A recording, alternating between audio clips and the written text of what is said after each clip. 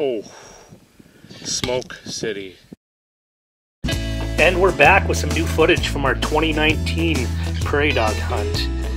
If you're not into watching prairie dogs explode, you should probably turn the channel. Um, and that's fine. Uh, opinions are like assholes, everyone has one. But for those who enjoy this, um, here it is. That fucker helicoptered.